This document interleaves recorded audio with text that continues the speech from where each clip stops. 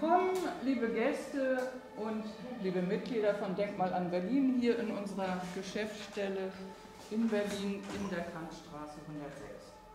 Wir haben heute eine Premiere, die im Moment nicht so ganz funktioniert, denn der Livestream für zu Hause ist abgebrochen und wir müssen das erstmal ein bisschen üben, scheint mir. Aber so ist äh, das mit den Premieren, manchmal klappt es. Diese Live-Übertragung, die wir vorhatten mit dem Vortrag zu den Berliner Schmuckplätzen von Herrn von Krosig, werden wir dann aber, wir filmen ihn gleichzeitig und dann stellen wir das auf YouTube und alle, die zu Hause jetzt enttäuscht sitzen, die können ihn dann doch wieder sehen. Also wir bitten etwas um Nachsicht, dass das beim ersten Mal nicht so ganz rund läuft. Aber damit machen wir ja einen Schritt in das digitale Zeitalter, einen weiteren Schritt in das digitale Zeitalter und äh, haben damit eine größere Reichweite für unsere Denkmalschutzideen, für unser Denkmalschutzengagement. Und äh, ich glaube, es lohnt sich, dieses technische Know-how anzuwenden. Vielen Dank dafür eben auch dann an die Kulturstiftung der Länder und an die Beauftragte der Bundesregierung für Kultur und Medien. Wir hatten im November einen Antrag gestellt, für diese Digitalisierung uns zu fördern und das ist uns auch bewilligt worden. Und äh, einen Dank natürlich auch an Carsten Nowak, unseren IT-Beauftragten, der uns hierbei geholfen und geschult hat. Wir müssen ihn offensichtlich zur Nachhilfe noch holen. Das Thema des Abends, Schmuckplätze in Berlin, Wer könnte dieses Thema besser darstellen als Dr. Klaus-Henning von Krosig, der seit 1978 die Gartendenkmalpflege in Berlin aufgebaut hat und äh, nicht nur die Schmuckplätze in Berlin oder die Parks hier äh, wieder zur Geltung gebracht hat, sondern eigentlich auch über Berlin hinaus in der Bundesrepublik und darüber hinaus in Europa tätig war und als Begründer der Gartendenkmalpflege in der Bundesrepublik gilt. Und nach seiner Pensionierung hat er nicht etwa damit aufgehört und privatisiert, sondern macht immer noch das Mentoring für drei Weltkulturerbestätten. Und äh, darüber sind wir natürlich sehr dankbar, dass diese Koryphäe Vorsitzender unseres Kuratoriums ist und äh, Impulse, Angebote, Exkursionen oder wie diesen Vortrag heute hier dem Verein zur Verfügung stellt. Also herzlich willkommen auch an Sie, Herr von Krosig, und jetzt bitte mhm. vor die Kamera.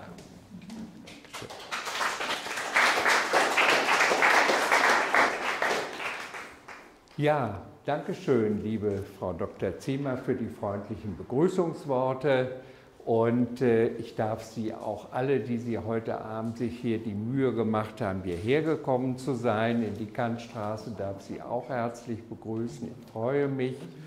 Und ich würde mich auch freuen, wenn ich den einen oder anderen oder die eine oder andere dann auch am Sonnabend bei der Busexkursion dann auch sehen würde und wir sozusagen auch den gesamten Stadt Platz, Schmuckplatzkorb dann gemeinsam uns auch hier erobern. Heute Abend mehr theoretisch und am kommenden Sonnabend dann tatsächlich praktisch vor Ort. Mich freut das sehr und ich kann vielleicht äh, auch das aufnehmen, was äh, Frau Ziemer eben sagte. Mir war eigentlich ziemlich von Anfang an klar, als ich von der Universität in Hannover kam, ich hatte mich auf die damals ausgeschriebene Stelle als Chef des neu gegründeten Fachreferates Gartendenkmalpflege, damals noch in der Senatsbauverwaltung, beworben und bin von 36, die Zahl habe ich nie vergessen, dann auch ausgewählt worden, warum auch immer. Aber ich denke, es war nicht zum Schaden Berlins und habe dann 19... und habe dann seit 1978, seit dem äh, August 1978 tatsächlich dieses Fachreferat aufgebaut, Das ist so etwas gab es damals noch gar nicht in der Bundesrepublik. Also die, das alte Land West-Berlin, darum geht es ja hier, die Stadt Berlin, das alte Land West-Berlin, hat tatsächlich äh, durch die Verabschiedung des Berliner Denkmalschutzgesetzes 1977 die Möglichkeit eingerichtet, eben auch neben der klassischen äh, Bau- und Bodendenkmalpflege und Kunstdenkmalpflege, die Sie ja normalerweise auch kennen, nämlich ein weiteres viertes Fachreferat Gartendenkmalpflege doch einzurichten und ähm, ich war eigentlich im Studium und dann auch als Assistent bei Professor Hennebo in Hannover tätig und hatte mich auch schon mit vielen äh, äh, solchen Projekten natürlich befasst, auch in meiner Zeit als Assistent. Und dann kam Professor Hennebo eines Tages und sagte, Herr von Krosig, Sie müssen sich unbedingt in Berlin bewerben Denken Sie mal, da ist das erste Fachreferat Gartendenkmalpflege ausgeschrieben in Deutschland. Ich wollte das gar nicht, weil ich eigentlich an meiner Promotion saß, wie das so ist eben. Nein, sagt er, das geht überhaupt nicht, äh, das ordne ich jetzt mehr oder weniger an.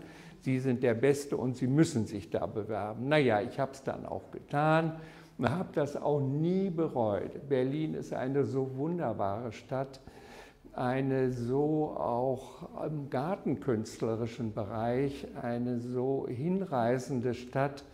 Ähm, und äh, deswegen habe ich das auch gerne, diese Aufgabe angenommen und habe dann natürlich sofort, wenn ich das hier noch eben einleitend sagen darf, sofort mit der äh, Erfassung der Berliner Gartendenkmale begonnen, der Inventarisation natürlich weil wir wollten ja erstmal das Schutzgut erfassen, worum geht es da eigentlich bei den Berliner Gartendenkmalen, denn das gab es ja überhaupt nicht. Und äh, dann natürlich als Folge daraus auch mit der Unterschutzstellung dann und drittens natürlich mit der Pflege Restaurierung und Instandsetzung. Also es war ein breiter Aufgabenkorb und ich hatte damals vier Mitarbeiter. Das ist dann immer gewachsen, auch im Laufe. In der besten Zeit waren wir etwa 14 nach der Wende, weil ja dann auch die äh, Denkmalpflege in Ostberlin aufgelöst wurde und wir die Mitarbeiter mehr oder weniger auch im Landesdenkmalamt dann übernommen haben und ich dann auch drei oder vier äh, Kollegen und Kolleginnen aus dem aus Berliner Institut für Denkmalpflege dann auch übernehmen konnte. Kurzum, und äh, das, was ich dann auch relativ schnell festgestellt habe, dass der Viktoria-Luise-Platz, und damit kommen wir schon sozusagen zu dem abendlichen Thema, dass der damals 1978, als ich nach Berlin kam, das wurde mir zugetragen, hören Sie mal, Herr von Krosige, das wäre doch vielleicht auch ein interessantes Objekt schon mal für Sie und so, dass dieser Viktoria-Luise-Platz im Bezirk Schöneberg, den ich nachher ja auch noch vorstellen werde, dass der vollkommen umgestaltet werden sollte. Das war, wie leider auch manche Plätze, unter anderem der Savigny-Platz, mit dem wir uns ja nachher auch noch befassen, das waren inzwischen alles Bolzplätze. Also da musste man schon sehr genau gucken, wo da überhaupt die gartenkünstlerische Qualität sozusagen noch lebte und eigentlich nach einer Wiederherstellung rief. Und ich sehe mich noch wie heute mit der damaligen äh, Grünflächen- oder Gartenamtsleiterin, wie man damals noch sagte, Frau Silberbach, ja, eine energische Person in Schöneberg, äh, mit der ich dann das Gespräch suchte. Und die sagte, Herr van Krosig, was wollen Sie? Hier einen Platz äh, als Denkmal wiederherstellen? Wieso das denn? Das wird ja immer schöner, was die Denkmalpflege sich einbildet. Also das kann ich mir überhaupt nicht vorstellen. Ich sage, ach Frau Silberbach, wir wollen uns da mal dran ranrobben an dieses Thema.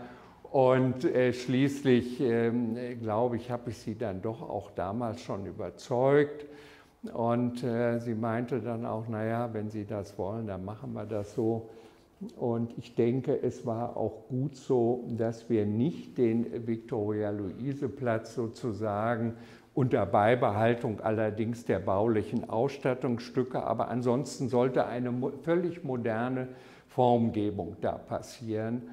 Und äh, also das fand ich schon damals so fürchterlich, mit lila angestrichenen Stühlen und Bänken und die ganze Struktur sollte nicht wiederhergestellt werden, wie man das damals so machte.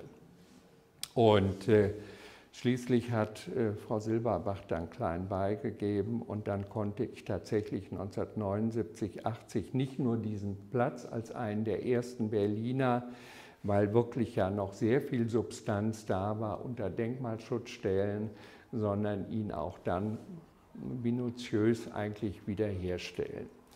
Ja, das war so der Beginn und äh, das hat mir damals auch schon viel Freude gemacht und es folgten ja dann auch rasch andere Plätze, zum Beispiel der Savigny-Platz in Charlottenburg, äh, nach der Wende der Pariser Platz äh, 1992. Und so ging das immer weiter und ich habe eigentlich dann doch sehr schnell begriffen, ich kannte ja auch Lené schon aus meinem Studium natürlich. Es war ja ein ganz wichtiger Mann im 19. Jahrhundert. Und ich wusste sehr genau, dass äh, Peter Joseph Lené eigentlich der Begründer der Schmuckplatzidee ist. Und sein erster Schmuckplatz, das will ich hier auch noch sagen, ehe wir dann tatsächlich uns mit den Bildern beschäftigen, war ja der Leipziger Platz, das Oktogon. Lené war ein sehr tüchtiger Mann und äh, früher gab es noch Könige, die dann, wenn sie das sahen und begriffen, ihre guten Beamten, dann wurden die auch auf Reisen geschickt. Und Lené kriegte vom König eine Reise geschenkt, zwei Jahre England. 1822 eine Dienstreise nach England und wir wissen aus seinen Erinnerungen, dass er ganz begeistert war in London über die begrünten Squares. Und er dachte, das können wir doch auch, und warum haben wir das in Berlin nicht? nicht das wäre doch auch eine schöne Idee. Und er hat dann das als eine, einen seiner sozusagen Mitbringsel aus der Englandreise hat er dann dem König vorgeschlagen, ohne den damals nichts lief. Äh, wir, äh, Majestät, wir können doch den Leipziger Platz, der bis dahin Marktplatz war, und zum Abreiten fürs Militär. Also von Schmuckplatz war da gar nichts. Können wir daraus nicht einen schönen Schmuckplatz machen? Und der König hat sich da auch überzeugen lassen und das war dann eine Sternstunde 1824, der Leipziger Platz, der erste Berliner Schmuckplatz, der nicht mehr dem Abreiten und dem Marktgeschehen diente. Und das war, denke ich, schon eine kleine Sensation. Und dann folgte ja Schritt auf Schritt äh, in jedem Jahr fast ein, ein Platz, der dann begrünt wurde und damit auch dem Marktgeschehen entzogen wurde. Und das ist ja eine Entwicklung, die dann auch sich weit bis in das Ende des 19. Jahrhunderts erstreckt hat. Ähm, und einer der späten Plätze, auf den ich nachher auch noch kurz eingehen werde, der Gendarmenmarkt, den auch schon Lené eigentlich begrünen wollte, er hat es aber nicht geschafft und einer seiner wichtigen Schüler, Hermann Mächtig, der dritte Stadtgartendirektor, oh nee, der zweite, Gustav Meyer, der berühmte Leni-Schüler, folgte ja dann oder gründete das erste Grünflächenamt in Berlin 1870 und äh, nach dem Tod von Gustav Meyer kam Hermann Mächtig. Und dem gelang es dann nämlich zum Beispiel den Gendarmenmarkt in den 80er Jahren, nachdem auch das Marktgeschehen auf dem Gendarmenmarkt endlich ein Ende fand, weil nämlich Markthallen in Berlin gebaut wurde. Und da hat man das Marktgeschehen natürlich verlagert Und nun konnte er endlich 1896, 95, 96 auch den Gendarmenmarkt begrünen. Also das ist eine Folge von Plätzen, wir sehen das nachher noch, die im Grunde möglich wurden, weil das Marktgeschehen und auch das Militär diese Plätze nicht mehr zum Abreiten nutzen konnte. So, und jetzt fangen wir mal an. Das erste bitte. Äh, ja, ich will hier mal zeigen, ähm, äh, diese drei Plätze, die ja nun ganz äh, berühmt äh, geworden sind. Das Rondel, der heutige Mehringplatz, der Leipziger Platz und auch der Pariser Platz. Sie sehen 1772 von Begrünung oder Schmuckplatzcharakter war da, wie gesagt, noch überhaupt nichts. Ähm, das Einzige, was man, man kann es hier wohl auch schon, auch schon sehen, ja, die ersten Bäume in der Lindenstraße, aber nicht die Plätze. Das waren wirklich Plätze für den Markt und eben auch fürs Militär zum Reiten. Und zwar entstanden in der Zeit, ähm, in der Zeit Friedrich Wilhelms äh, des Ersten, des Soldatenkönigs, der ja die Stadterweiterung betrieben hat in Richtung Tiergarten und der hat nach französischem, nach Pariser Vorbild äh, diese Plätze anlegen lassen. Also will das eben zeigen, als Einstieg, so muss man sich die ersten Schmuckplätze in Berlins im 18. Jahrhundert vorstellen. Da waren keine Bäume, keine Sträucher und auch keine Schmuckpflanzungen. Und äh, Sie sehen, hier kommen die Linden auf das Karree, auf das Brandenburger Tor zu. Das ist äh, noch 1748 der Vorgängerbau von dem Langhanschen äh, wunderbaren Brandenburger Tor. Und es war in der Tat eine, eine, das war damals noch eine ziemlich wüste Fläche. Und die wurde das erste Mal gepflastert 1791, äh, also kurz nach Eröffnung des Brandenburger Tores, nach den Plänen von Langhans. Und Langhans hatte ja auch die Aufgabe, er war sozusagen auch Hauptabteilungsleiter, würde man heute sagen, bei Bauwohn für die Straßen und die Plätze zuständig. Also er hat zum Beispiel ähm, die Königstraße, die ja von Zehlendorf nach Potsdam geht, die hat er 1792 dann auch gepflastert, fast zeitgleich hier mit dem Carré. Ähm, und er hat dann auch die Straße, des, die Charlottenburger Chaussee in Richtung Charlottenburg, hat er dann auch befestigt.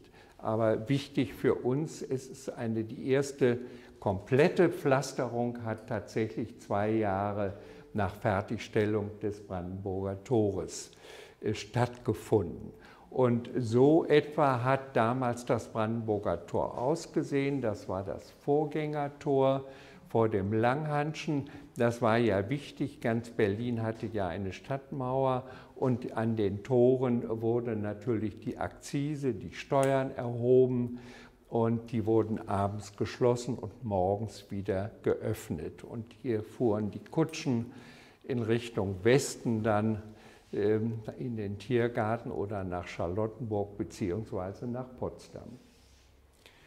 Ja, und das Rondel, erstaunlicherweise, hier sieht man 1792, ein bisschen weiter ist man dann jetzt doch schon die Lindenstraße tatsächlich mit Linden bestanden und man hat den äh, späteren Mehringplatz, hier noch das Rondel genannt, wenigstens mit Lindenbäumen gerahmt. Also das fand man dann doch schon ähm, äh, schöner als nun ein völlig nackter und steinerner Platz. Bitte weiter. Und so etwa äh, muss man sich das äh, vorstellen, der Mehringplatz, der eben auch äh, zum Abreiten genutzt wurde, auch als Marktplatz. Und hier die Lindenstraße, da stehen tatsächlich schon Linden, die namensgebenden Linden der Lindenstraße. Ja, und dann kam Peter Joseph Lené 1816 nach Berlin vom König Friedrich Wilhelm III. gerufen. Ähm, er lebte damals gerade aus Laxenburg in Wien kommend bei seinen Eltern in Koblenz, eine Hugenottenfamilie Lené, und ähm, war da auch mit Plänen beschäftigt. Und es wurde ein, der preußische, heute würde man sagen, Generalforstmeister, ähm, äh, Harting wurde auf ihn bei einer Inspektionsreise der, der preußischen Forsten im Rheinland, wurde er auf Lené aufmerksam und hatte natürlich auch Informationen eingeholt und dachte, das ist der Mann, den ich dem König Friedrich Wilhelm III. empfehle, um in Potsdam, darum ging es erstmal, die in den napoleonischen Kriegen völlig verwahrlosten königlichen Parks wieder in Ordnung zu bringen. 1816 kam er nach Berlin und der damalige Staatskanzler Karl August Fürst von Hardenberg wurde gleich auf ihn aufmerksam und hat ihn sofort abgeworben. Noch im Jahr der Ankunft 1816 sagte er, Lené, Sie kommen nach Klinike, ich möchte da einen schönen Park haben und ich weiß, Sie können das. Und das hat er dann gemacht und der erste Entwurf, der ist tatsächlich bis heute überliefert. Und nach diesem Entwurf habe ich ja dann in den 80er Jahren den wunderbaren Pleasure Ground. Es ist kein Pleasure Ground, wie äh, ein Bundespräsident mal bei einer Besichtigung sagte, ein Pleasure Ground nach englischem Vorbild. Ja, also ein Schlossgarten mit Blumenbeeten, schönen Wasserkünsten, Skulpturen, aber trotzdem hat Lené schon 1816 auch begonnen, im neuen Garten zu arbeiten, in Sanssouci und, und, und. Und es begann im Jahr 1866 eine 50-jährige erfolgreiche Tätigkeit, die ihr Ende erst fand 1866, als Lené dann leider gestorben ist. Ja, und äh, ich zeige jetzt mal das Rondel. Sie sehen 1863, der spätere Belle Alliance, der heutige Mehringplatz, von Lené eben hier begrünt. Das muss man sich als Rasenfläche vorstellen. Und diese Tupfer hier, die dunklen, das sind alle Schmucksträucher, zum Beispiel Strauchkastanien oder auch ähm, Rosen oder ähnliche Beete, aber immer niedrig bleibend. Nur die Bäume, wie Sie ja unschwer erkennen können, ähm, nur an der Kante, an, der, an den, an den äh, Gebäuden sozusagen sich entwickelnd und den Platz rahmend, aber der Platz an sich ähm, ist raumkünstlerisch freigehalten. Und das ist das, was ich meinen Studenten auch immer im zweiten Semester beibringe. Ich sage, wenn ihr alles vergesst, aber nicht den Satz, Gartenkunst ist Raumkunst. Und das hat Lené verstanden. Er wäre nie auf die Idee gekommen, in die Mitte dieser Plätze nun Bäume zu pflanzen. Ja, so wie wir das heute immer wieder wild machen, völlig unsinnig, denn es ist ja doch ein Einatmen und ein Ausatmen. Das ist wirklich ein Prinzip aus dem Landschaftsgarten. Man nähert sich dem Platz, dann atmet man aus und dann geht man wieder weiter, auf, womöglich auf einen weiteren Platz und atmet wieder aus. Also immer von Raum zu Raum geht man. Gartenkunst ist Raumkunst. Bitte.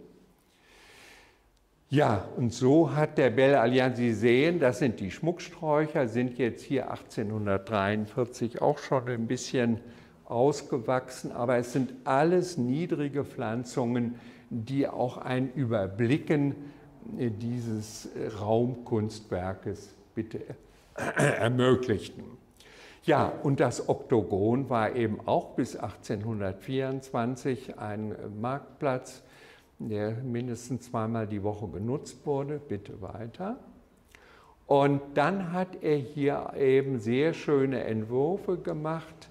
Sie sehen hier schon 1823, also auch Entwürfe von, äh, von Schinkel, der hat ja die beiden Torhäuser hier entworfen Und da beginnt das schon mit der Begrünung, natürlich im Zentrum die Leipziger Straße und ähm, dann eben auch wieder niedrig bleibende Gehölze, Schmuckgehölze auf den niedrig gehaltenen Rasenflächen. Und dann später nochmal weitere Entwürfe. Ähm, Sie sehen hier auch mit so Laternenträgern, die dann hier in den Ecken standen. Und hier ganz typisch für diese Zeit äh, des, äh, der ersten Hälfte des 19. Jahrhunderts die halbrunden, ausgebußten Plätze, in denen natürlich auch halbrunde Bänke standen die wir mit dem Fachausdruck Exedren nennen oder römische Bänke. Ein Hauptvertreter war ja Karl Friedrich Schinkel. In ganz äh, Potsdam, Sanssouci finden wir diese römischen Bänke noch und die waren hier sogar eben, wie gesagt, in dem Stadtbild. Da konnte man sich auch mal hinsetzen, sich unterhalten und vor allen Dingen, was ja spannend war, denn Farbfernsehen gab es noch nicht, man konnte die Verkehrszirkulation beobachten. Und das war natürlich sehr spannend. Wenn man Glück hatte, fuhr dann auch mal eine Prinzessin mit einer Kalesche vorbei und so. Das war doch alles sehr aufregend. Heute regen wir uns auf, wenn wir einen Krimi sehen. Aber das war damals kein Thema. Nicht? Und das Vorbild der Squares aus London, hier sieht man das bei dem Leipziger Platz, Bäume nur an der Kante, Zaun. Die Squares in London haben ja heute noch ihre Guss- oder schmiedeeisernen Zäune. Und wer London kennt, weiß, dass nur die Anwohner und die Königin von England einen Schlüssel hat. Wir als Besucher können auf die Squares in der Regel gar nicht rein, die sind abgeschlossen. Und sowas hatte er sich hier auch am Leipziger Platz gedacht und auch ausgeführt. Aber äh, Lené hat natürlich nicht mit den renitenten Berlinern gerechnet. Die ließen sich das gar nicht lange bieten und schon nach fünf Jahren waren die immer wieder zerstört. Und dann wurde der Zaun dann weggenommen, man konnte das gar nicht halten. Aber hier gibt es schon die schönen, wunderbaren Schweinebäuche, wie man sagt, hier in Charlottenburg, die wunderbaren Granitplatten aus Striegau in Schlesien. Das fängt gerade in den 40er Jahren an, diese hinreißenden, und ich habe auch ein paar ganz wenige wertvolle Gehwege unter Denkmalschutz gestellt, um dieses tolle Material auch zu erhalten. Ja, und hier kann man jetzt auch sehen, da sitzt man tatsächlich auf dem Leipziger Platz und beobachtet die Verkehrszirkulation und konnte sich da auch mal ausruhen. Eine Situation, die heute natürlich gar nicht mehr vorstellbar ist und auch denkmalpflegerisch gar nicht wiederholbar ist. Und das ist so einer der letzten Entwürfe. Lené hat dann ja auch, das weiß man, in seiner zweiten Lebenshälfte, so ab den 1840er Jahren, dann auch sehr viel formal wieder gearbeitet, nicht nur landschaftlich, sondern auch formal. Sie sehen das hier auch. Auf einmal kommen so geometrische Formen, Schmuckbeete. Das hat dann seine Arbeit auch sehr bestimmt, auch in Potsdam Sanssouci und so. Und hier sieht man das ganz gut. Ja, nochmal ein Blick auf den Leipziger Platz mit den wunderbaren Torhäusern von Schinkel. Die hätte man eigentlich auch wiederherstellen müssen. Aber Berlin hat sich für sowas nicht interessiert. Mich gab es damals noch nicht. Vielleicht hätte ich das dann doch noch durchgesetzt, denn sowas hätte man auch rekonstruieren können. Das war nicht barock, also auch gar nicht kompliziert. Es waren klassizistische Gebäude, die ganz dominant waren, auch ein Schinkelsches Erbe. Was wäre das schön, wenn die heute noch da stehen würden? Bitte? Ja, und so hat der Platz dann ausgesehen nach dem Krieg 1947, bitte weiter.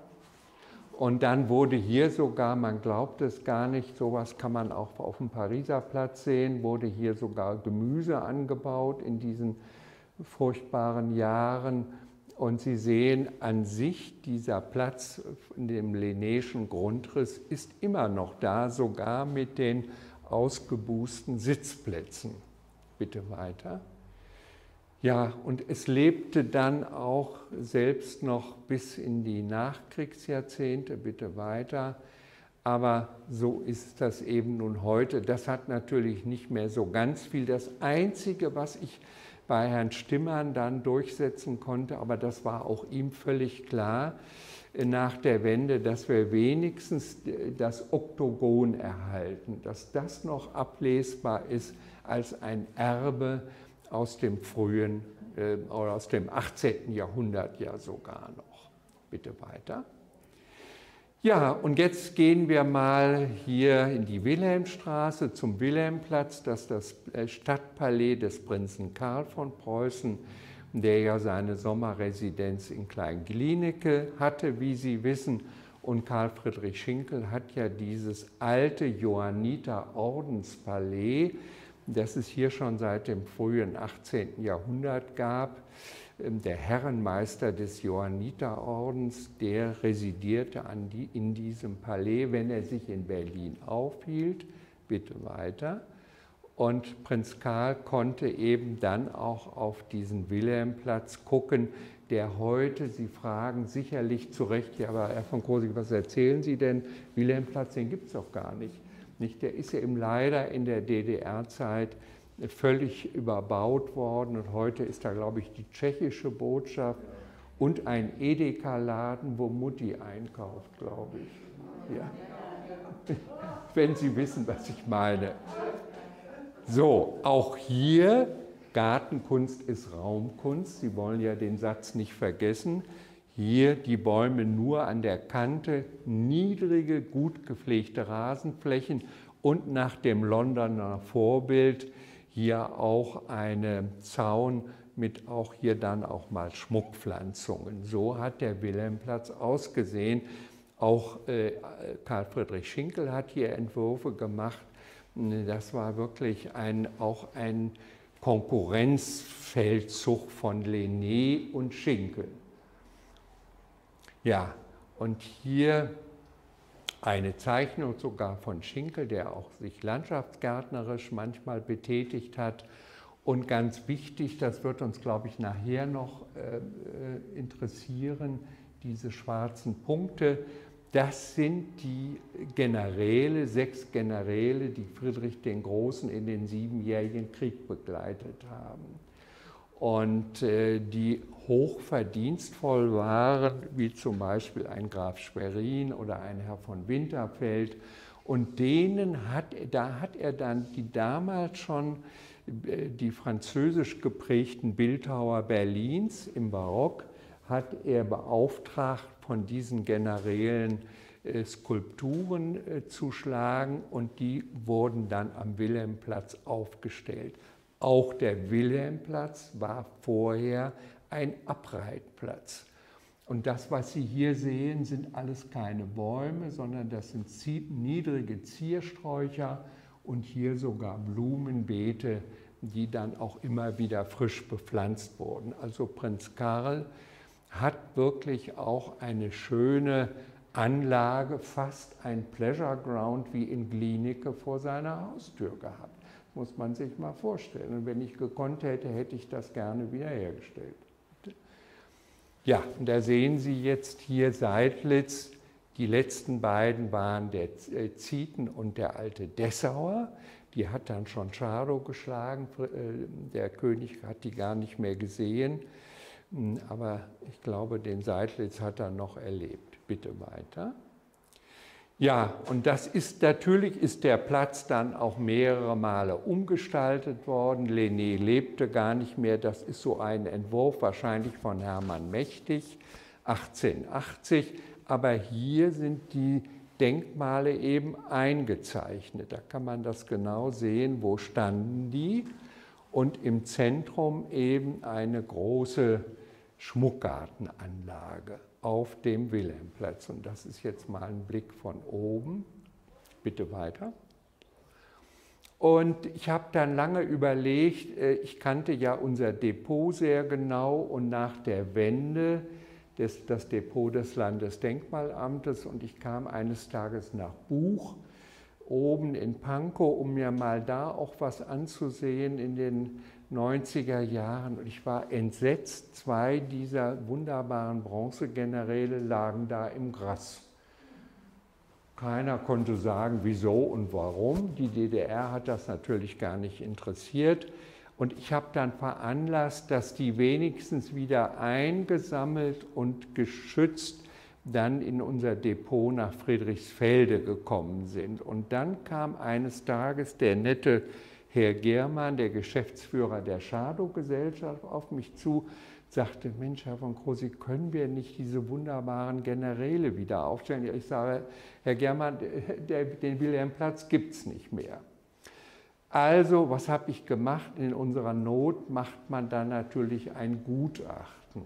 Ich wusste genau, es kommt nur der Zietenplatz als Alternative in Frage, aber ich musste ja auch äh, meine Senatorin gewinnen. Und dann wurde ich zu ihr gebeten und dann sagte sie, Herr von Kohl, Sie sind Sie jetzt ganz verrückt geworden. Ich habe gehört, Sie wollen Generäle aufstellen. Das wollen wir doch wohl nicht. Ich wusste, dass das kam und hatte mich schon mit äh, German auch dahingehend abgestimmt, dass wir dann die beiden Shadow-Figuren in den Vordergrund optisch rückten. Und dann habe ich der Senatorin gesagt, aber äh, Frau Senatorin, Sie werden doch wohl nicht gegen Shadow sein. Nein, sagt sie, das bin ich überhaupt nicht. Ich sage, sehen Sie, dann lassen Sie mich bitte arbeiten. So, und dann haben die, äh, diese wunderbare Shadow-Gesellschaft mit Herrn Germann, die haben dann Geld gesammelt, bereitgestellt, dass nämlich jede Figur mit den Sockeln haben doch etwa 200.000 äh, Euro gekostet, alles wunderbarer Marmor und äh, wahnsinnig teuer. Die Figuren mussten ja auch restauriert werden.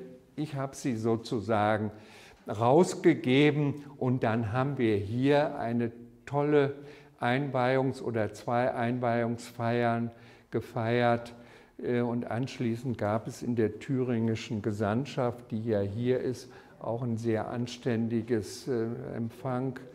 Und dann haben wir das gefeiert, dass wir wirklich auf dem Zietenplatz wieder die sechs sozusagen friedrichianischen Generäle, dass die da heute stehen und auch eine vernünftige Infotafel. Das war mir immer wichtig, dass man auch begreift, wo, wo befinde ich mich hier eigentlich und weswegen stehen hier solche Figuren. Auch eine lange Geschichte. Ursprünglich war es Marmor und Sandstein.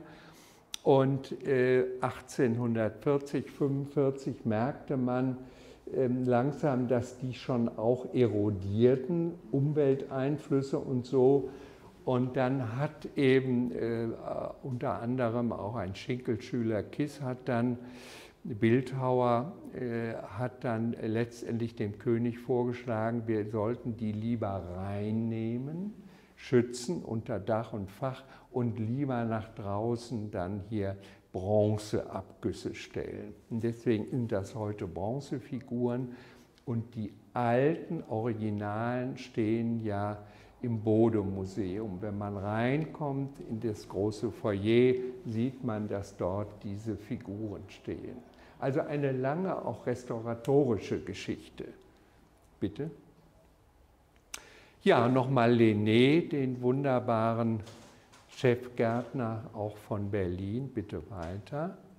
Und wir kommen jetzt zum Luisenstädtischen Kanal, ein Verbindungskanal, der angelegt worden ist äh, 1948 und äh, ist ein Verbindungskanal zwischen der Spree und dem Landwehrkanal.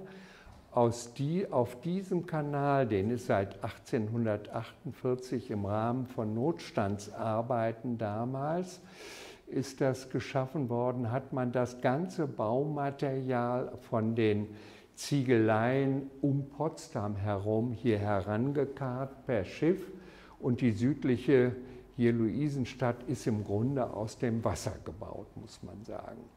Und hier sehen wir von dem Architekten Soller die zweite katholische Kirche Berlins, die erste, die Hedwigskathedrale, die Friedrich der Große im Jahr 1746 hat errichten lassen für die katholischen Schlesier, dass die auch in Berlin eine Kathedrale haben. Und dann 100 Jahre später kommt eben hier äh, diese äh, Michaelkirche, genannt nach dem Erzengel Michael, den man oben auf dem Dach sieht. Und in der Achse sozusagen muss man sich den Landwehrkanal dann am Ende vorstellen. Und die Schiffe fuhren dann rechter Hand wieder zurück in Richtung Oberspree. Ja, hier ist der gesamte Plan und äh, diese Konzeption, nicht nur auf Lené geht der Landwehrkanal zurück, sondern auch der Luisenstädtische Kanal äh, mit seinen verschiedenen Abschnitten, die man ja sehr gut sieht und auch den einzelnen platzartigen Oranienplatz zum Beispiel und hier ähm, das Engelbecken vor der Michaelkirche mit dem Erzengel Michael auf dem Dach. Ähm, also das war eine tolle Leistung von Peter Joseph Lené. Und dann ist es aber so gekommen, schon zum Ende des 19. Jahrhunderts führten die Besucher Klage und sagt, naja, im Sommer, das Wasser war keine große Fließgeschwindigkeit, da stank dann auch schon mal an warmen Tagen. Also schließlich hat sich das durchgesetzt nach dem Ersten Weltkrieg, dass dann Berlin überlegte, wir schütten den Kanal zu. Ja, eigentlich eine bedauerliche Entscheidung, aber kurzum, Professor Erwin Barth, der uns gleich noch beschäftigt, der ursprüngliche Gartendirektor von Charlottenburg, der dann 18, 1926 ähm, Gartendirektor der Gesamtstadt Berlins wurde. Der, und der hat dann 1926 tatsächlich diese äh, kan Kanalbereiche zuschütten lassen, aber nicht vollkommen. Er hat gesagt, die schütten wir nur zur Hälfte zu, auch die Brücken erhalten wir weitgehend und in den Abschnitten von Brücke zu Brücke, da legen wir Grünanlagen an. Und so ist es dann auch gemacht worden. Dieser berühmte Erwin Barth, eigentlich der Lené des 20. Jahrhunderts, hat sich wirklich in diesem luisenstädtischen Kanal ähm, doch verewigt. Das ist noch kurz vor der Zuschüttung. Sie sehen das so ein Bild um 1900.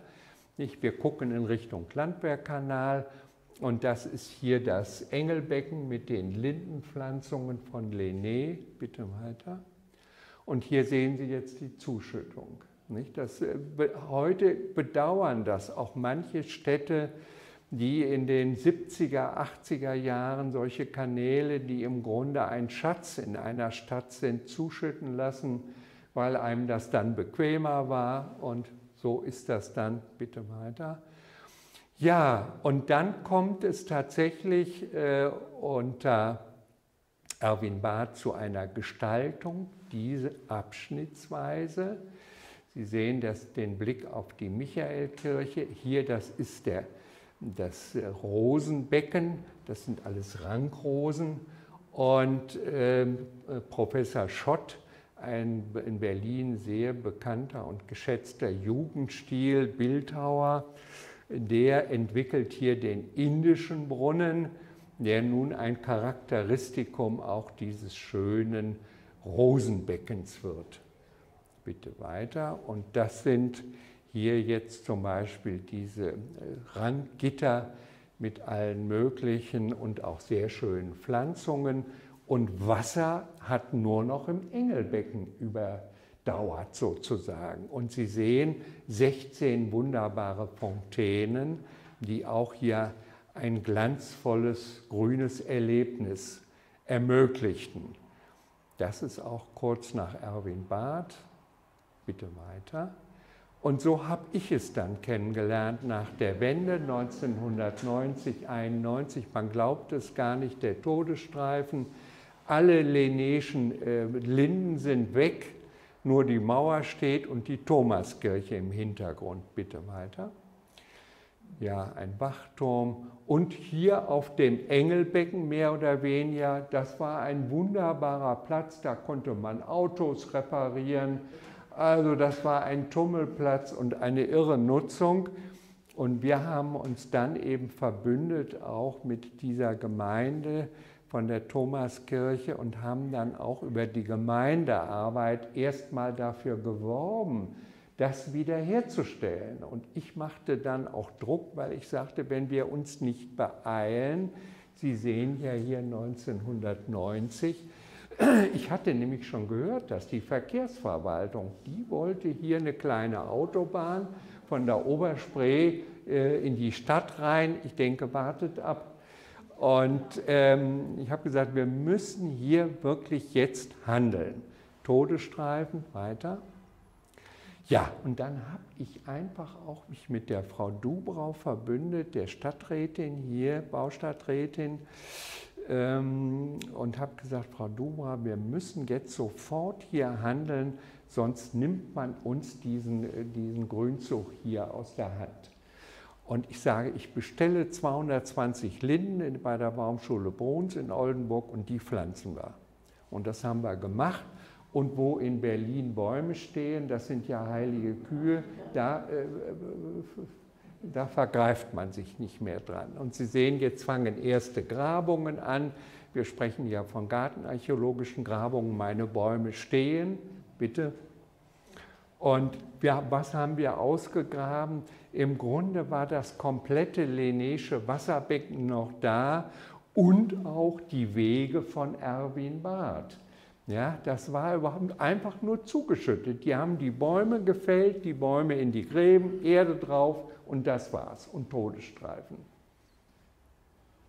Ja, und Sie sehen ganz minutiös, ich habe da natürlich den, den Luisenstädtischen Kanal unter Denkmalschutz gestellt sofort. Und wir haben gesagt, wir wollen jeden alten Stein erhalten und sauber restaurieren und wieder aufbauen. Ja, man kann es kaum erkennen, aber wir können sich ja denken, wer es ist. Und da haben wir den Sockel des indischen Brunnens, der war auch komplett da. Und dann habe ich den wunderbaren Bildhauer, die kannte man natürlich als Denkmalpfleger, Gerald Matzner, der unter anderem die Kofferpyramide da in Olympia im Olympischen Feld geschaffen hat und vieles andere.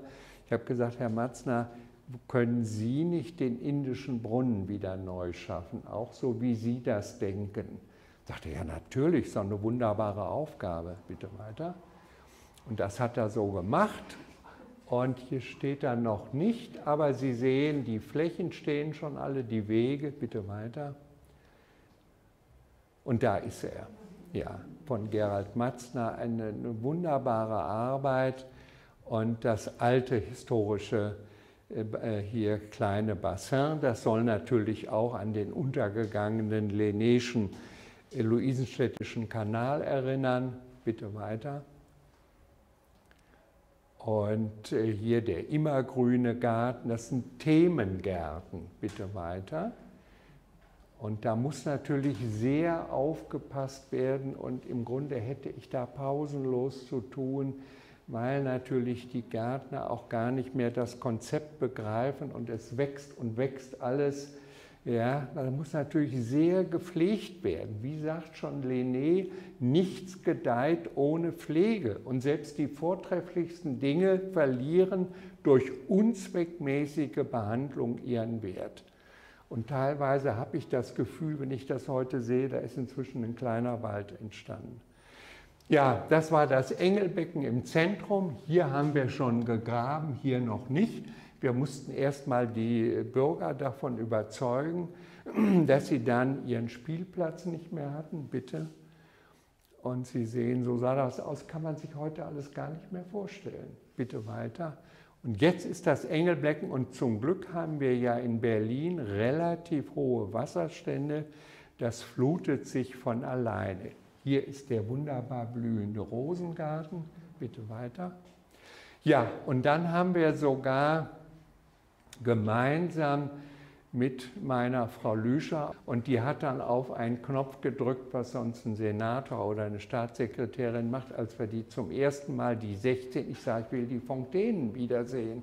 Und dann war eine sehr nette alte Kreuzbergerin, die sich da zu uns gesellte und das ganz toll fand und sagte, na hören Sie mal, Das ist ja hier wie in Monte Carlo.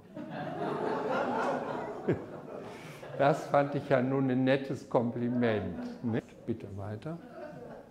Ja, und ein, auch in der Lené-Zeit fast zeitgleich ist zwar 1831, ähm, da steht auch schon äh, die Friedrich-Werdersche Kirche, die Türme, die werden gerade hochgezogen und 1834 war die Kirche fertig und auch die Bauakademie. Und hier in diesem Zwickel gab es eben eine Freifläche, mit der sich schon Lené auch beschäftigte. Allerdings dieses Bild ist aus dem architektonischen Skizzenbuch von Karl Friedrich Schinkel, aber Sie sehen, Lené hat schon kleinkronige Bäume gepflanzt und hier seinen Entwurf, äh, große Bäume auch nur und dann hier niedrige und hier ist die Bauakademie und die Friedrich-Werdersche Kirche ist oben zu sehen. Also Lené hat sich mit diesem relativ kleinen Platz auch schon befasst und aus dieser Befassung hat sich im Grunde eine jahrzehntelange Arbeit entwickelt, schließlich gipfelnd in dem dann auch nachdem Schinkel da aufgestellt wurde mit Beuth und Teer, die drei Skulpturen, die ja da heute stehen, bitte weiter. Äh, hier steht, hier kann man schon sehen, hier ist äh, ja, die Bauakademie, hier ist die Halbrunde Exedra und hier sind die drei Figuren, also Schinkel, Beuth und Teer. Bitte weiter. Ja, und so hat das im 19. Jahrhundert ausgesehen. Figuren standen dann schon, auch Schinkel, deswegen auch Schinkelplatz. Bitte weiter. Und hier sieht man jetzt auch schon äh, kurz vor dem Ende des äh, Zweiten Weltkrieges auch die schöne römische Bank, die Exedra. Man sieht Schinkel, Beuth, sein Freund und Teer, den Revolutionär der preußischen Landwirtschaft, den dreien, ähm, wie man sagt, Helden ohne Degen. Ja, die haben wirklich durch ihre, ihre Persönlichkeit äh, eben die Architektur, die Landwirtschaft und auch die Industrie in Preußen entwickelt. Bitte weiter. Nachkriegsbild war natürlich vieles zerstört. Bitte weiter. Und die Bauakademie, die komplett stand, die hätte man ja wunderbar, völlig problemlos wiederherstellen können. Also es ist ein Jammer. Das war es ja dann, das Außenministerium. Ich zeige es hier nochmal, aber auch nicht zu lange, bitte. Äh, und die drei Figuren, ich wusste auch, wo die waren und habe dann auch veranlasst, dass die sofort wieder an die alte Stelle kommen, denn ich wollte diesen Schinkelplatz wiederherstellen. Ja, bitte. Und dann waren einige Diskussionen, auch Frau Lüscher war eigentlich gar nicht dafür. Ach, was, was wollen Sie da machen? Ich sage, das werden Sie schon sehen. So, und dann haben wir tatsächlich hier 2007, 2008 ist die Einweihung dann passiert, exakt an den alten Standort tatsächlich die drei Denkmale und 2008 dann eben auch die Einweihung mit den alten Gittern, dahinter die schöne römische Bank. Und wir werden das auch auf der Rundfahrt uns ansehen, vor allen Dingen auch mit dieser wunderbaren pompeianischen Pflasterung. Das ist auch noch eine Reminiszenz an Karl Friedrich Schinkel, denn wir wissen ja, in Potsdam hat er ja an vielen Stellen solche Pflasterteppiche nach pompeianischem Vorbild anlegen lassen. Und wir hatten in Berlin keinen Handwerker mehr, der das konnte. Das haben Türken gemacht. Die konnten das noch aus der Türkei. Ganz toll, dieses zauberhafte, äh, schöne Teppichmuster. Nicht? Und die hinreißende römische Bank.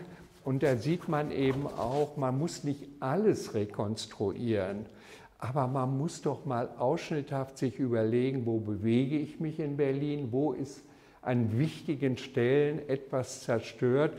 Und ich bin heilsfroh, dass ich das geschafft habe Und ich hoffe, ich mache dem Bund Mut, dass die Bauakademie dahinter kommt, denn sonst macht das Ganze gar keinen Sinn eigentlich. Weiter.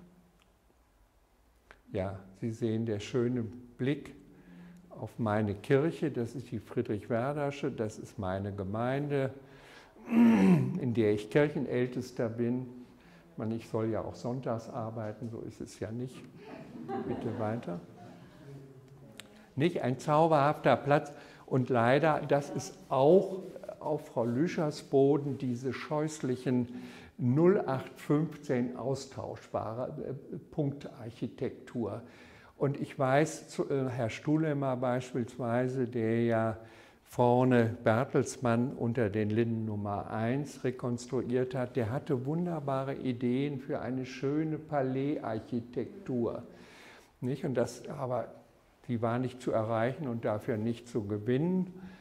Und äh, jetzt ist das eben gekommen. Natürlich die teuersten Wohnungen in Berlin sind alles Eigentumswohnungen. Ich weiß nicht, was die da Millionen für eine Wohnung bezahlen. Und die freuen sich natürlich alle aus ihren hypermodernen Häusern, gucken die auf meinen schönen Schinkelplatz. So. Ja. Pariser Platz. Ich sagte ja 1791, zwei Jahre nach Errichtung des Brandenburger Tores durch Langhans die erste Pflasterung. Und das hat sich dann auch das ganze 19. Jahrhundert ist das so geblieben. Sie sehen hier nochmal 1875, da konnten natürlich die Kutschen herrlich fahren, konnten wenden oder parken, aber von Schmuckplatzcharakter gibt es hier nicht. Das lag auch ein wenig daran, dass auch dieser Pariser Platz Preußen gehörte und nicht der Stadt Berlin. Deswegen hatte der Kaiser da das letzte Sagen und der wollte da auch keine Veränderungen im Grunde. Aber dann schließlich kam es doch ähm, 1878 etwa, denn doch hatte das der Pariser Platz auch ging in das Fachvermögen der Stadt Berlin über und äh, dann konnte man hier endlich auch äh, der Oberbürgermeister von Berlin hier Hermann Mächtig, den eben schon von mir zitierten zweiten Stadtgartendirektor, beauftragen. Äh, lieber Mächtig, machen Sie uns einen Entwurf für den Platz. Wir wollen den als Schmuckplatz haben.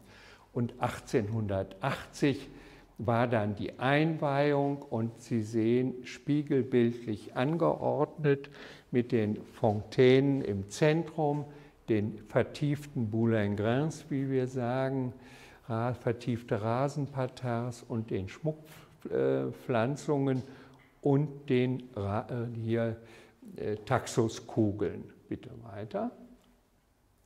Das ist nochmal der Entwurf von Hermann Mächtig, ein ganz verdienstvoller und leider bis heute noch gar nicht genug gewürdigter Mann, der auch den Gendarmenmarkt beispielsweise gestaltet hat und manche anderen wichtigen Anlagen. Bitte weiter. Und das ist jetzt nach dem äh, Ersten Weltkrieg eine etwas reduzierte Variante, aber die Boulin-Grins, wie Sie sehen, gibt es immer noch. Und auch hier niemals Bäume in die Mitte gepflanzt. Gartenkunst ist Raumkunst. Ich frage es nachher nochmal ab. Bitte. Und so hat es dann 47 ausgesehen. Ja, bitte weiter.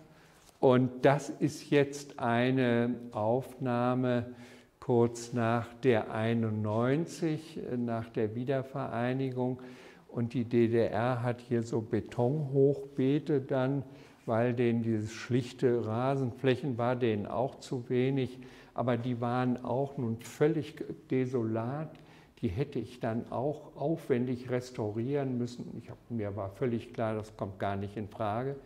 Ich habe mich gleich mit dem Gartenamtsleiter von Mitte, ein freundlicher Kollege, der auch gelernt hatte zuzuhören, und äh, haben wir das so dann ent entwickelt, den Pariser Platz in der alten Form wiederherzustellen.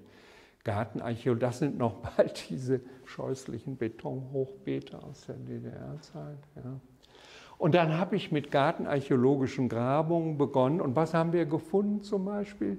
die, die, die Fundamente der Brunnen waren noch da und vieles andere. Und dann bin ich zu meinem Senator damals, ganz ohne konnte ich ja auch nicht arbeiten, Hassemann, kluger Mann. Und er sagte, ja, Herr von Krusig, was wollen Sie, den Platz wiederherstellen? Ja, spinnen Sie denn? Da wollen wir doch einen internationalen Wettbewerb machen. Das wusste ich genau, dass das kommt, dieser Vorschlag der war auch ganz auf dem Trend damals, das war sehr aktuell, man machte Wettbewerbe, so internationale. Und ich war aber vorher nach Brüssel gereist, weil ich wusste, es gab einen Fördertopf für Tourismus. Und den habe ich das Projekt, das, äh, wir sehen es gleich noch, habe ich denen dann vorgestellt und das endete damit, dass die sagten, ja, ein wunderbares am Pariser Platz, wenn Sie den wiederherstellen wollen, Sie kriegen 90 Prozent der Mittel. Und, äh, und das habe ich dann dem Senator Hassemer gesagt. Ich sage, ja, wenn Sie mal, wenn Sie was anderes wollen, dann machen Sie das. Dann gebe ich drei Millionen zurück nach Brüssel. D-Mark damals noch. Nein, nein, machen Sie, machen Sie. Sie machen ja sowieso, was Sie wollen. Und äh, ja, hier diese wunderbaren, die, das fand ich auch immer in Potsdam so schön, die Brunnenkränze aus Bronze. Die habe ich natürlich durch meine Bildhauer nacharbeiten lassen. Auch das Pflaster haben wir natürlich erhalten, das es da überall noch gab, das alte. Und sehen, wir haben sie wieder neu gemacht. Und das ist jetzt schon 93 nach der Wiederherstellung, die beiden Brunnen mit den vertieften Boulegrins.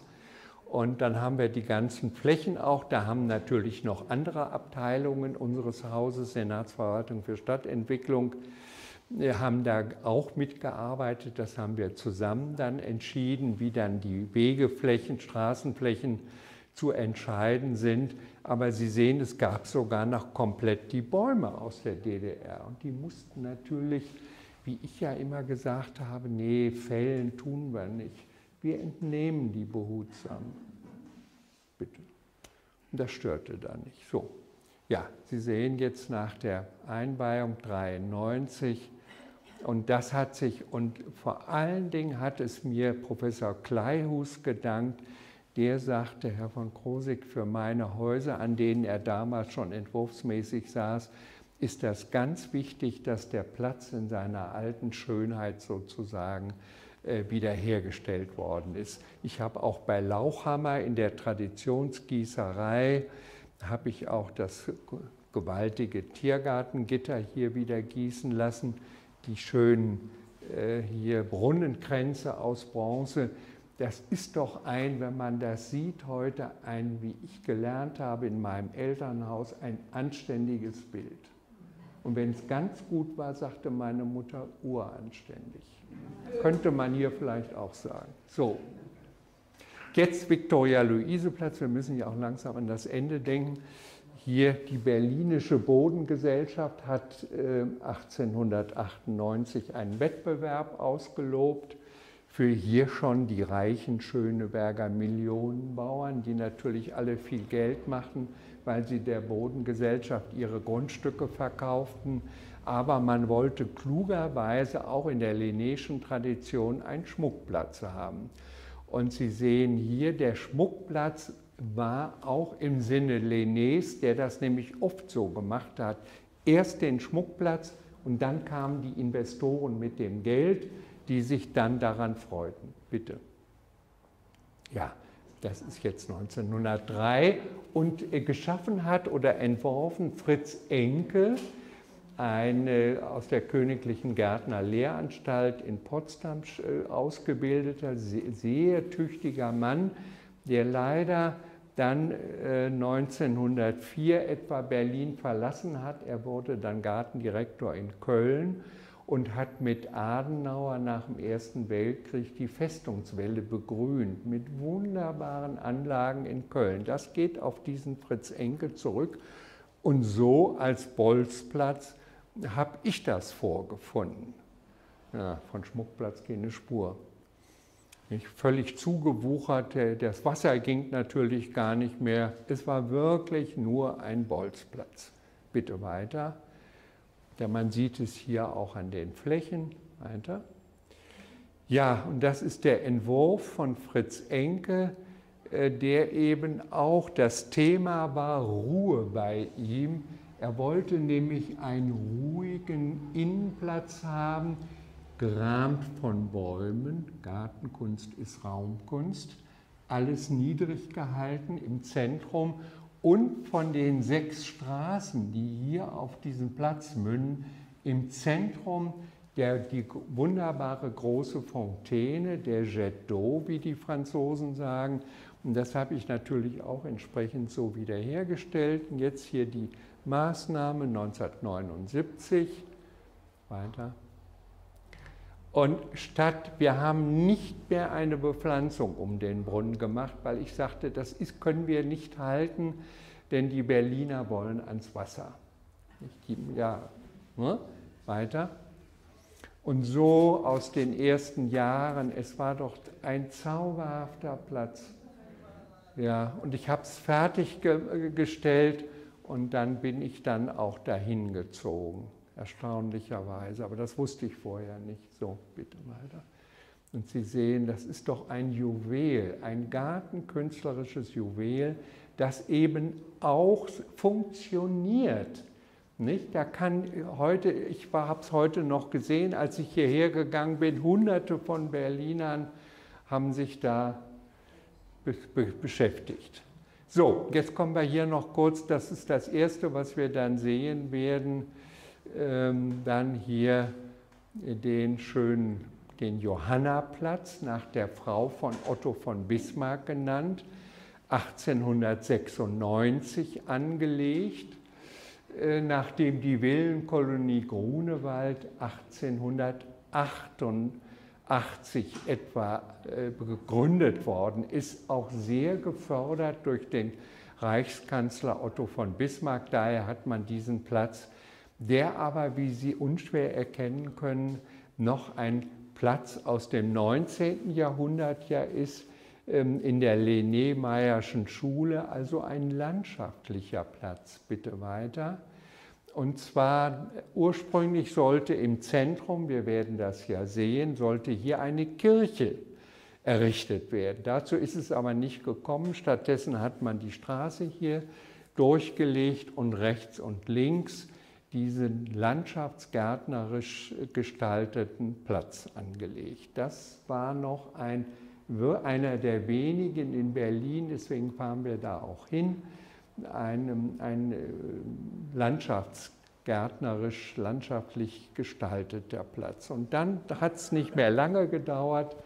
1912 wurde, bitte wurde Erwin Barth der erste Stadtgartendirektor von Charlottenburg bis 1926 und er hat unter anderem diesen wunderbaren, Sie sehen, von landschaftlicher Gartenkunst ist da nichts mehr.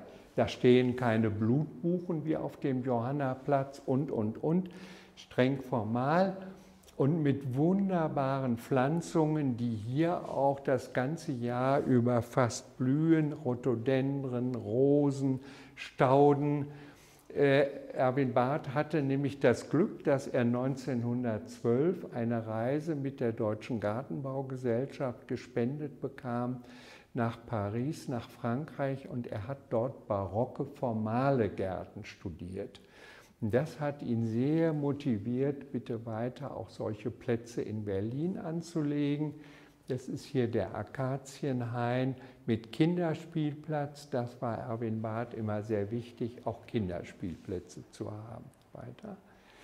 Ja, und jetzt gehen wir zum Savigny-Platz, sein letzter Platz, den er 1926, da war er schon fast im Aufbruch nach Groß-Berlin.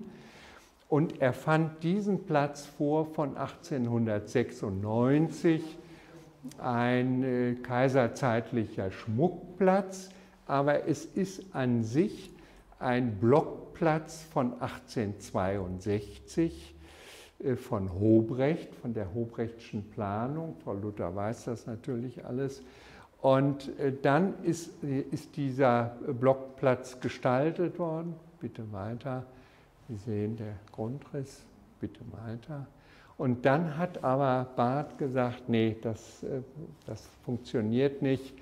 Ich will einen formalen, einen reformorientierten Platz haben, auch mit einer großen Staudenrabatte rundherum und einem Kinderspielplatz, genauso wie er es am Karolinger Platz gemacht hat. Und so ist das dann auch 1927 ausgeführt worden.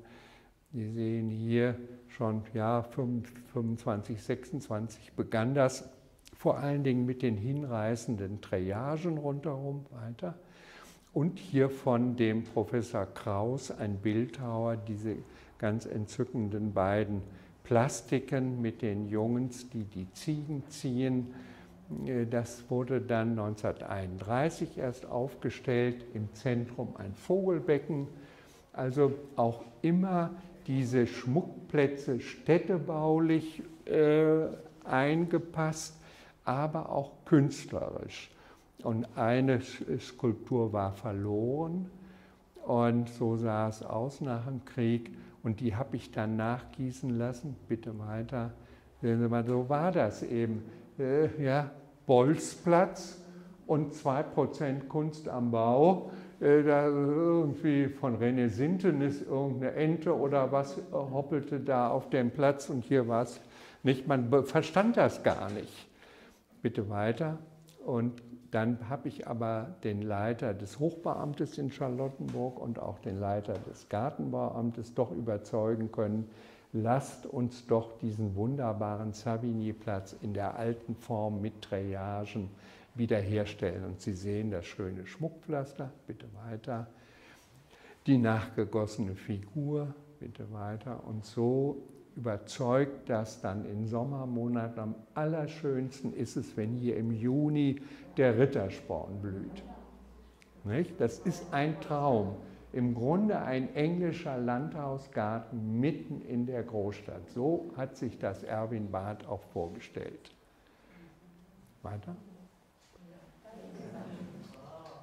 Bitte schön. Weiter? Ja, der Brixplatz werden wir uns auch ansehen. Ich will das jetzt gar nicht mehr groß. Das war eine Kiesgrube mit 14 Meter Tiefe. Und da hat Erwin Barth mal jetzt nicht formal gestaltet, sondern einen Naturpark quasi angelegt. Sie sehen hier während der Baumaßnahmen. Das ist eine interessante Anlage, die werden wir uns ansehen. Landschaftsausschnitte aus Brandenburg hat er mitten in die Stadt geholt auch sehr mutig angelegt 1920, 21, auch mit einer Wasserfläche, einer Heidelandschaft, eine Waldlandschaft und auch einen Schulgarten. Ihm war das sehr wichtig, dass die Kinder auch bitte. Ja, das ist der Schulgarten. Und hier ein Wasserfall mit Rüdersdorfer Kalkstein hochgezogen. Bitte weiter. Ja, und da kommen wir auch langsam, ich habe sie jetzt ja auch sehr strapaziert. Äh, ja, und das Wichtigste ist natürlich auch dieser wunderbare Satz von Lené, also das Schöne mit dem Nützlichen sozusagen, die Devise des Dessau-Wörlitzer Gartenreiches von Lené abgewandelt. Und ich setze immer noch einen Satz drauf, weil mir das ganz wichtig ist, was ich in Berlin geschaffen habe, was ja dann vorbildhaft für ganz Deutschland auch äh, gemacht wurde. Viele der äh, Kollegen, die die Gartendenkmalpflege in Niedersachsen, Hamburg oder so leiten, waren ja alle Volontäre bei mir.